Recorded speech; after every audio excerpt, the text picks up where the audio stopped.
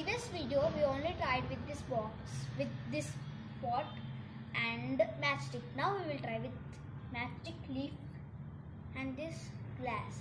It's floating. Let me put the leaf in it. It's floating. The matchstick in it. It's floating.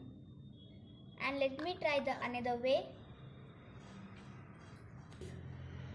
Okay. And this matchstick on it.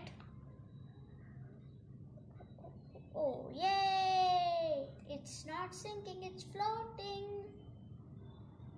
Now only take the matchstick leaf and the bowl. Yes. Bye